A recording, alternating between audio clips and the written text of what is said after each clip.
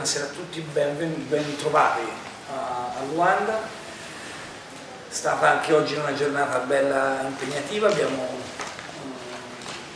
toccato per la prima volta il Congo Brazzaville, abbiamo incontrato il Presidente Sassou, credo che sia stato un appuntamento importante anche per la firma di due accordi, un accordo firmato come capogruppo dalla Trevi, azienda molto importante a livello internazionale, azienda di Cesena, ma che ha una larga parte del proprio fatturato all'estero e che ha con sé una dozzina di aziende italiane per un investimento infrastrutturale interessante, nato da un eh, accordo con Confindustria nel 2012 e un accordo di Eni, un accordo di Eni che in Congo Brazzaville è particolarmente forte, importante.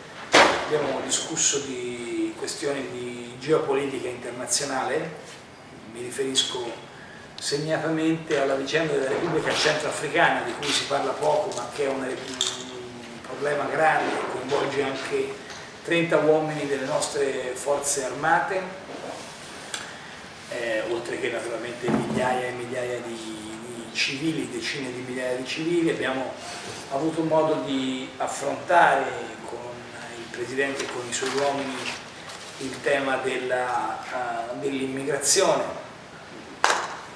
l'abbiamo detto ieri, lo ripeto oggi, noi possiamo fare degli interventi più forti, li faremo, c'è bisogno di dire all'Europa che è inaccettabile che Mare Nostrum abbia un bilancio più grande di Frontex, Mare Nostrum è ciò che fa l'Italia, Frontex è ciò che fa o dovrebbe fare l'Europa. Noi spendiamo più come italiani per gestire l'immigrazione di quanto spendono tutti gli altri paesi che compongono, compongono l'Europa. E questo da un lato va a dimostrazione che noi siamo persone civili e serie, e dall'altro che l'Europa deve cambiare la propria politica dell'immigrazione. Questo come risposta immediata, però tutti noi sappiamo che senza un investimento in Africa non si va da nessuna parte. Noi riusciremo a salvare e a chiudere definitivamente la questione immigrazione soltanto quando porteremo uno sviluppo vero in questo continente.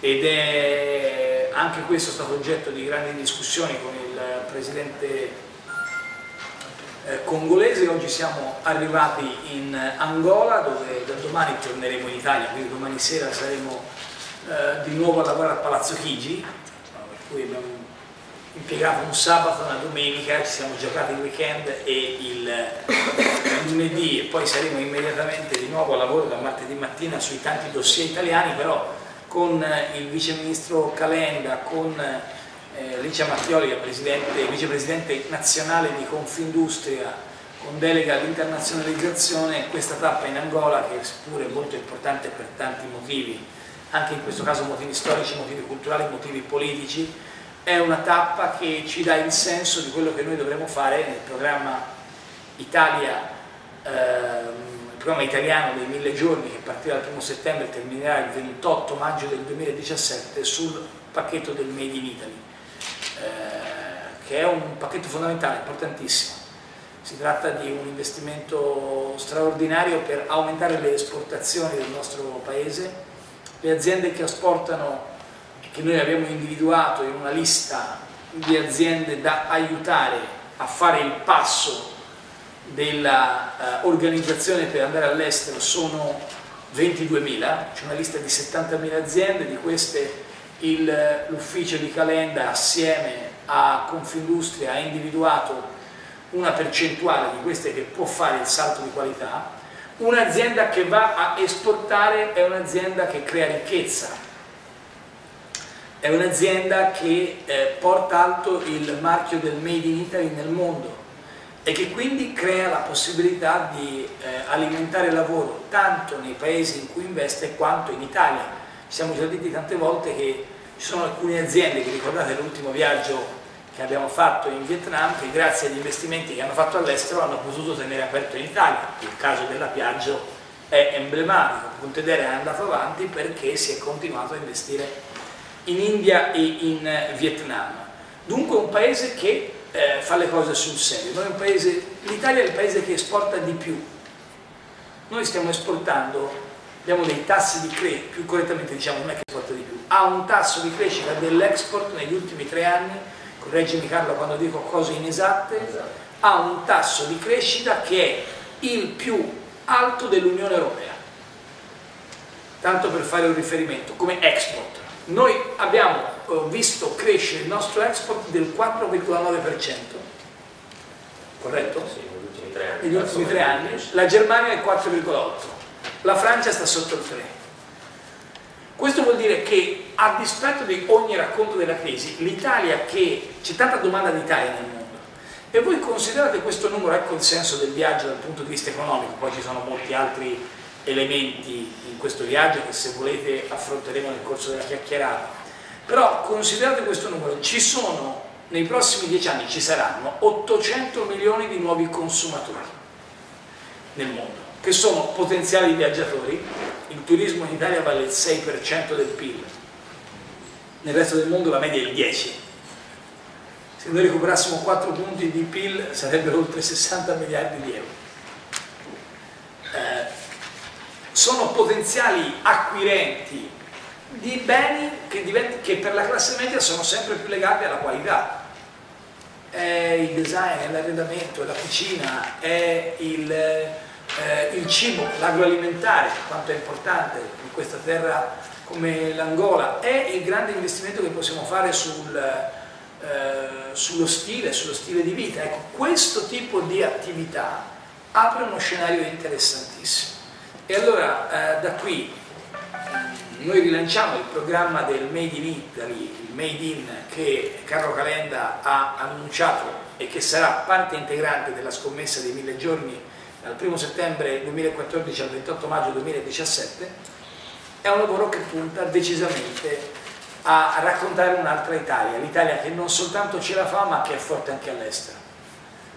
Poi naturalmente ci sono i polemici di professione, quelli che un giorno mancano gli investimenti stranieri in Italia, il giorno dopo quando arriva un investimento straniero, ah si perde l'italianità. Eh, un giorno dice che bisognerebbe esportare di più, il giorno dopo quando qualcuno esporta dice vedi sta delocalizzando. Ci sono i gufi di professione ma io guardo la realtà delle cose e do un obiettivo a me, al governo, al paese. Noi saremo in condizioni di aumentare un punto di PIL da qui alla fine dei mille giorni proprio lavorando sull'export, che vuol dire eh, un grande lavoro, grande investimento con una serie di incentivi, di lavoro di squadra, di eh, gioco comune che abbiamo visto funzionare anche nei paesi che stanno uscendo dalla soglia di povertà e che in un paese invece come l'Angola, che è già un paese che ha grandi chance, grandi possibilità, eh, sarà oggetto delle conversazioni, degli incontri già da questa sera in ambasciata, c'è il nostro ambasciatore che ringrazio, e poi domani mattina con gli imprenditori, il Presidente Dos Santos, il pranzo ufficiale e con il Fondo Sovrano. Eh, quindi la sintesi finale è noi siamo qui per parlare di cooperazione, di sviluppo, di valori, di immigrazione, per dire che l'Africa ha un futuro se aiutiamo l'Africa a svilupparsi e quindi se non la lasciamo sola per poi piangere in modo demagogico quando arrivano gli immigrati. Se vuoi costruire una soluzione devi costruirla in partenza, a monte. E naturalmente ve lo ricordo perché tanto non, questo non ha grande attenzione dei, dei, della pubblica opinione, diciamo così, anche oggi in Congo, domani in Angola, ieri in Mozambico, il ruolo strategico dell'energia in una direttrice che non sia la consueta direttrice tradizionale soltanto ovest, est-ovest, noi lì abbiamo accordi firmati, siglati, che vanno bene, vanno avanti, non ci tiriamo certo indietro noi, ma diversificare e immaginare una direttrice per l'energia sud-nord. Questo è il grande lavoro che sta compiendo Eni in queste settimane, in questi mesi, non finisce qui, è un lavoro che sotto la guida di Claudio Descalzi lei sta facendo e che può essere una grande risposta politica e geopolitica. E in più naturalmente fa un po' da punto di riferimento e di eh, una sorta di, di eh, che fa salire la squadra perché laddove l'ENI eh, eh, è presente fortemente nei paesi, c'è spazio anche per, eh, è più facile per altri imprenditori poter investire con maggiore determinazione. Stiamo parlando cioè di questioni che, ho finito, riguardano made posti di lavoro, cioè quando dice Renzi non parla di crisi economica, il made in sono posti di lavoro, sono 22.000 piccole e medie aziende che vengono aiutate a investire, è un punto di PIL che cresce da qui al 2017, è un investimento strategico sulla promozione all'estero anziché continuare con tanti strumenti diversificati ma con un player che eh, ha la regia del vice ministro Calenda e che ha intorno a sé tante collaborazioni. Abbiamo discusso di immigrazione dicendo che non si risolve facendo gli sms e i twitter della domenica perché almeno si prende due voti in più ma si risolve facendo un grande investimento ad origine. Stiamo lavorando perché i nostri figli non abbiano problemi energetici perché di questo si sta discutendo con le nuove scoperte noi mettiamo in sicurezza il nostro paese per i prossimi decenni. Stiamo parlando di questo, stiamo costruendo il futuro. Mi rendo conto che non è facile farlo, farlo passare come concetto quando siamo abbastanza schiacciati sul presente. Però se ci sono domande su questo vi rispondo volentieri. Se mi fate una domanda sulle riforme costituzionali Grillo vi rincontro. Beh, una parte del tuo progetto, quindi giusto, domani si inizia a votare le riforme. le riforme. Cioè vi vedo sull'Africa, vi vedo interessatissimo. No, beh, certo. Domani quanti pezzi, tanto tu sei dell'ANSA, quindi quante, quante paginate ci saranno domani su, eh, sull'Africa? Almeno sei pagine. Sei pagine con lo speciale speciale su, sull'Africa. Eh, no, vabbè, finiamo, se, se, vogliamo parlare, quindi il tema delle riforme, si inizia a votare se, avete, se pensate ad un contingentamento dei tempi o un modo per accelerare l'iter oppure si lascia alla discussione parlamentare. Le riforme costituzionali domani entrano nella settimana decisiva, credo che ci saranno gli ultimi interventi, la replica di, del, dei relatori del governo e poi finalmente si vota. Eh, per me è molto chiaro il messaggio, cioè io non trovo nessuna contraddizione al di là delle battute tra il lavoro faticoso ma strategico che stiamo facendo in queste ore in Africa sull'energia, sui posti di lavoro, sul made in e la necessità di semplificare le regole del gioco in Italia. Avere un eh, titolo quinto, cioè un pacchetto di regole sulle regioni più semplici di quello che abbiamo adesso, un procedimento legislativo più snello, meno politici. Quindi le riforme costituzionali per me sono l'inizio di un percorso di, di, di, cambiamento profondo del paese, anche il simbolo per alcuni aspetti, perché se la politica dimostra di essere capace di cambiare se stessa, allora poi è credibile. È un po' eh, fare le riforme costituzionali non... Eh, non crea posti di lavoro di per sé, ma se posso utilizzare un'espressione è prendere il telefonino. Le riforme costituzionali sono il PIN. Se tu non digiti il PIN e sblocchi la tastiera, non c'è verso di far funzionare niente. Le riforme costituzionali elettorali sono questa cosa qui, sono lo sblocco del paese. Se non digiti il PIN, il telefonino non si accende rimane bloccato. C'è chi dice che si possa prendere del tempo, continuare a prendere del tempo, prendere del tempo.